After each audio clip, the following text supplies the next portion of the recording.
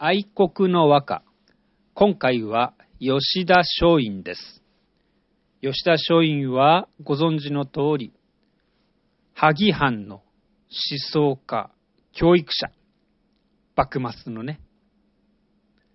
この方は、残念ながら、江戸伝馬町牢屋敷で、刑に処されてしまいました。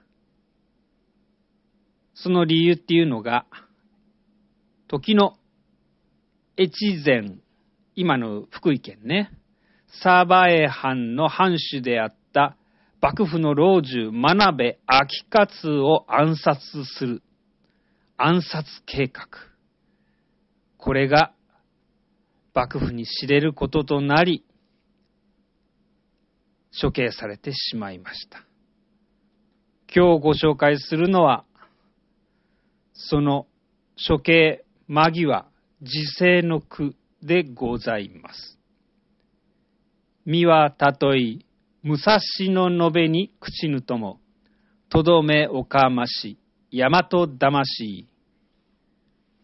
この身はたとえ、武蔵野の延べに朽ち果てるとも、大和魂は永遠にここに留めておきたい。